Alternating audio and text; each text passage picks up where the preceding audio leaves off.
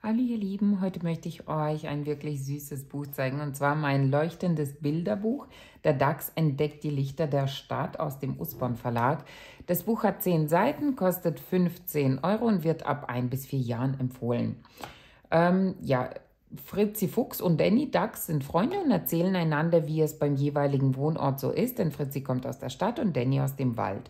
Und ähm, als Danny dann immer etwas entdeckt, also auf die Lichter bezogen, ihr seht es hier, ähm, und danach fragt, was für ihn ungewöhnlich ist eben, lacht Fritzi darüber. Hier zum Beispiel hält äh, Danny das leuchtende Karussell für eine Sonne, die auch nachts scheint und viele andere solche Sachen, die er nicht nachvollziehen kann, weil er es aus dem Wald nicht kennt.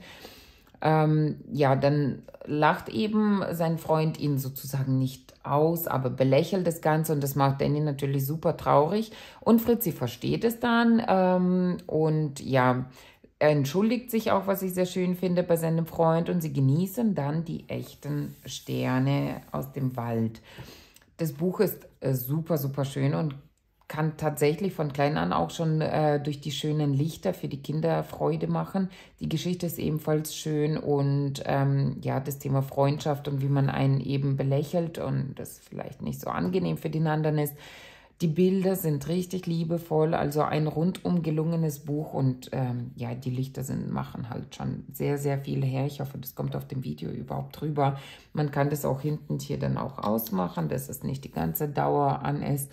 Ansonsten ein wirklich sehr, sehr schönes und gelungenes Buch. Davon gibt es, glaube ich, auch mehrere unterschiedliche aus dieser Reihe Leuchtendes Bilderbuch. Könnt gerne mal schauen. Das Buch findet ihr in der Infobox verlinkt. Wenn euch das Video gefallen hat, lasst mir gerne einen Daumen hoch, abonniert meinen Kanal und schaut auch gerne meine weiteren Videos an. Macht's gut!